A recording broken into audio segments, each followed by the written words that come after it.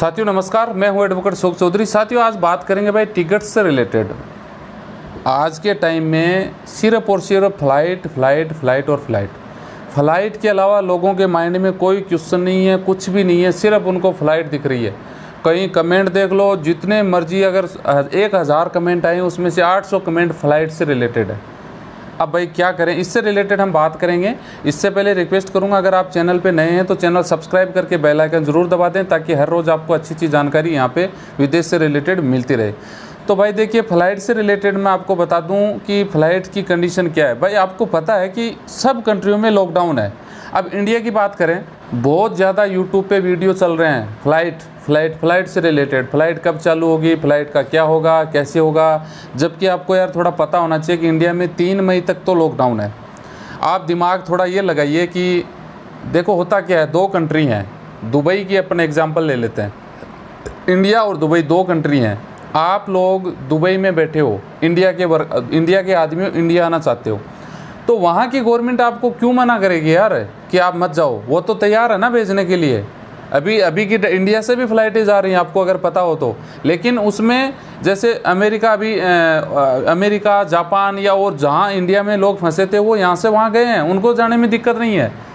वो स्पेशल अनुमति बहुत ज़्यादा लंबा प्रोसेस होता है। लेकिन अब आप मान लीजिए कि दुबई से फ़्लाइट इंडिया आ रही है। लॉकडाउन आपको पता है ना? आपको वहाँ से उतरते डायरेक्ट आपको चौदह दिन के लिए डाल देंगे अंदर। ठीक है? और चौदह दिन बाद मान लीजिए लॉकडाउन बढ़ता है तो चौदह दिन बाद आप कहाँ जाओगे जी? आप मुझे बताइए कहाँ जाओगे? ट्रेनें बंद हैं, बसें बंद हैं पर्सनल गाड़ियाँ बंद हैं, सब कुछ मेट्री क्लोज है, और आप दिल्ली एयरपोर्ट पे मान लो आप उतर गए एग्ज़ाम्पल ले लेते कि उतर गए, फिर कहाँ जाओगे? आप मुझे बताइए। आपको थोड़ा बहुत दिमाग, थोड़ा बहुत आपको भी इस्तेमाल करना चाहिए। अब लोग भी पता नहीं फ़्लाइट के पीछे पड़े हैं। इंडिया में तीन तारीख तक लॉकडाउन है। दुबई की गवर्नमेंट क्यों मना करेगी? आप अगर आ रहे हो तो वो तो एक दिन में दस फ्लाइटें भेज सकती हैं। लेकिन इंडिया में कैसे उतरोगे? उतर भी गए एयरपोर्ट पे, फिर आगे कैसे निकलोगे? लॉकडाउन में निकल जाओगे आप। यहाँ आदमी मर रहा है, उसके लिए परमिशन लेनी पड़ती है कलेक्टर से एसडीएम से। तो आप कैसे पहुँचोगे भाई? मुझे बताइए। तो थोड़ा बहुत अपने दिमाग का इस्तेमाल करें। दूसरी बात, लोगों को टॉपिक मिल रहे हैं फ़्लाइट फ़्लाइट फ़्लाइट जबकि इस दुनिया को पता है और आपको भी पता है भाई फ़्लाइट के चांस नहीं है लॉकडाउन ख़त्म होने से पहले तक। दुबई गवर्नमेंट ने भी धमकी दी कि अगर आप अपने बंदों को नहीं निकालोगे तो हम वीज़ा कैंसिल कर देंगे, या फिर आगे हम दोबारा से सोचेंगे वर्क परमिट पे दोबारा विचार करेंगे, ये वो। लेकिन अब उनको भी समझ में आ गया कि बंदे धमकी देने से भाई, देखिए इंडियन इंडिया तो डरेगा नहीं, ये तो तय बात है। इंडिया को फ़र्क नहीं पड़ता। इंडिया की गवर्नमेंट की तरफ़ से एक भी न्यूज़ मुझे बता दीजिए कि अखबार में, सोशल मीडिया पे, टीवी पे, गवर्नमेंट ने ये बोला कि हम फ़्लाइटें चालू कर रहे हैं, हम आप अभी वहाँ भेज रहे हैं, वहाँ से बंदे उठा लेंगे, वहाँ से बंदे उठा लेंगे।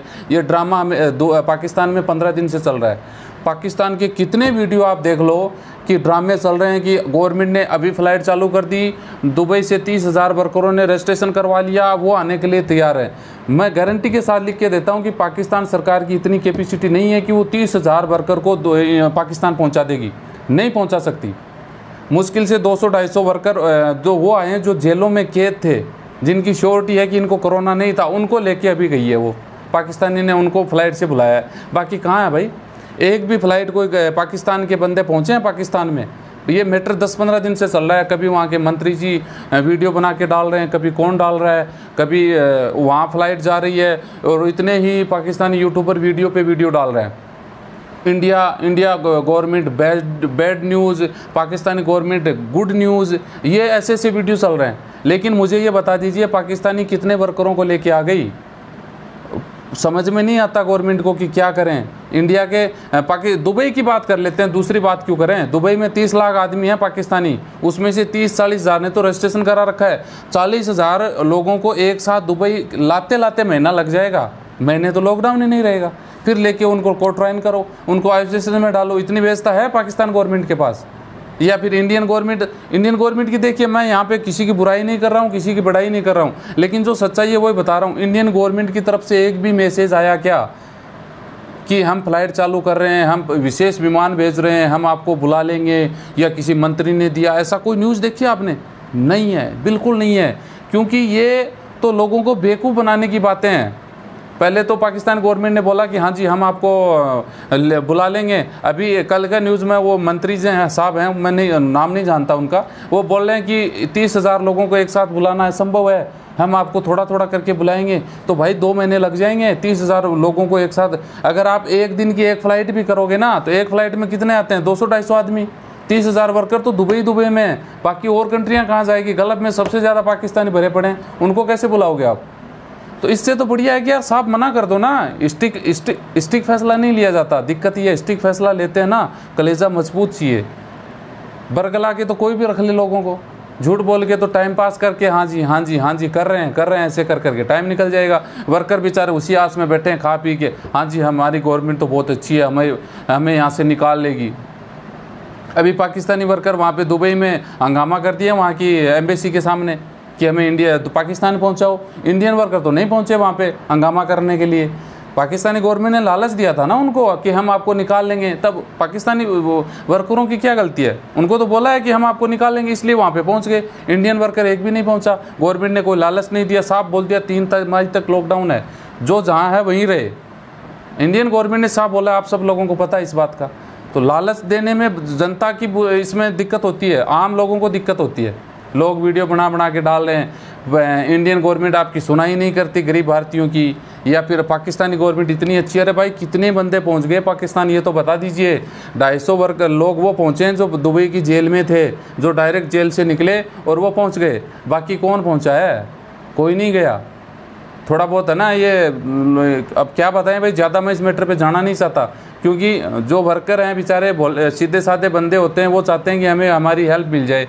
लेकिन उनको साफ़ ही बोलते भाई लॉकडाउन से पहले कुछ नहीं होगा, जो जहाँ वहीं बैठे रहें। तो उनके मन में तसली तो हो जाए ना यहाँ पे, कि भाई, कुछ होने वाला नहीं है लॉकडाउन से पहले। समझ रहे हो बात को? बस आज की जानकारी यही थी, भाई, फ़्लाइट का कुछ नहीं है। इंडिया का तीन मई तक तीन मई तक तो वेट करना ही करना है। आगे स्थिति पे डिपेंड करेगा कि फ़्लाइटें चालू होंगी या नहीं होंगी। अब बाकी दो देशों की तो भाई अब गोली तो नहीं मिलती। इंडियन गवर्नमेंट तो आपको बेवकूफ़ नहीं बना सकती कि हम आपको दो दिन में ला रहे हैं, चार दिन में ला रहे हैं, ऐसा कुछ नहीं है।